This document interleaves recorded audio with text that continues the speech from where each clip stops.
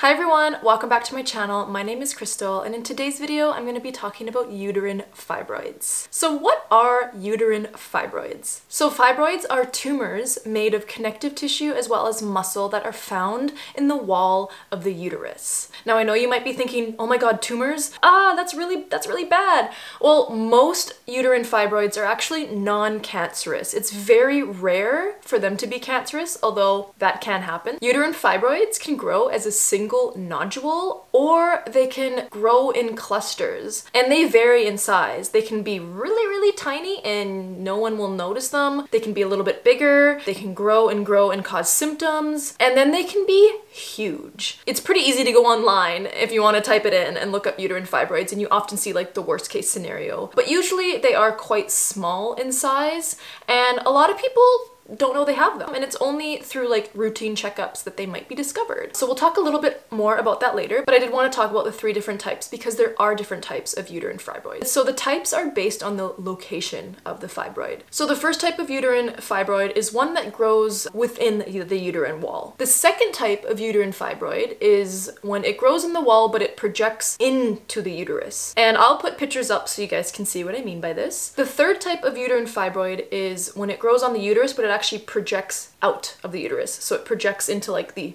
abdominal cavity. Basically, it's like on the outer surface of the uterus. So approximately 70-ish percent of people will have a fibroid before the age of 50. And black women and menstruators are actually three times more likely to develop fibroids. If you have someone in your family that has fibroids, it's a good possibility that you might also experience fibroids. And there's also um, seems to be a connection with diet. So people that eat a diet that is very high in red meat um, or people that drink a lot of alcohol may also be predisposed to developing fibroids. Doctors seem to think that it, there is like an estrogen connection, so people with higher estrogen might be more predisposed um, to to growing fibroids. And age is also a factor as well. And so fibroids are actually quite common and oftentimes they do resolve on their own. Usually they go away by menopause. However, fibroids can grow and get worse and they can cause symptoms. So not everyone will have their fibroids just magically resolve. Oftentimes they progress and they grow um, and they do cause symptoms. So the symptoms of fibroids, um, if you have a fibroid that is causing you symptoms, would be like painful periods as well as heavy periods. Obviously Obviously, if you're having like a fibroid that is pushing into your uterus, that can cause some issues. If you're having a fibroid that's growing and pushing on the outer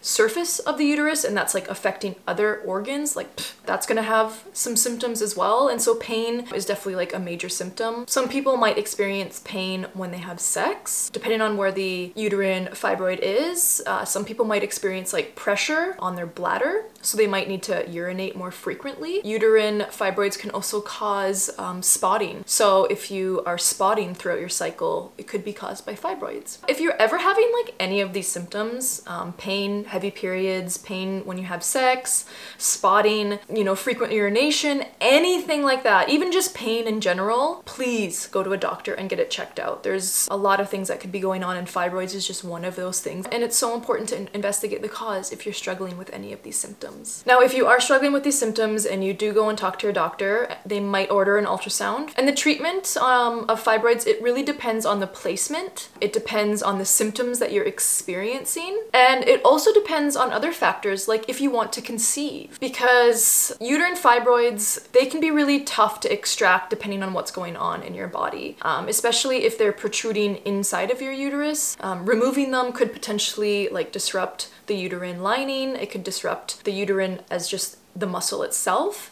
and that um, that can cause some issues with possibly conceiving in the future. So that's why it's super super important to talk to your doctor about the options. I really want you to know that if you're struggling with fibroids like you're not alone. I'll put some resources in the description of this video so that you can find um, websites that are dedicated to uterine fibroids and like what to expect and what treatment can look like because there's a lot of different treatment options. You can also find like support groups um, and then you can also just uh, hear about other people's stories and stuff like that. And these resources that I'm going to be sharing, they also have some information on how to get support from your healthcare provider. I hope you learned a little bit in this video. I hope you now understand what uterine fibroids are and what to be aware of if you think you might be struggling with one or maybe a cluster of them. And I just really appreciate you watching this video. If you have any questions, please let me know in the comments below. And as always, your cycle matters so much and I'm here for you and I'll see you in the next video.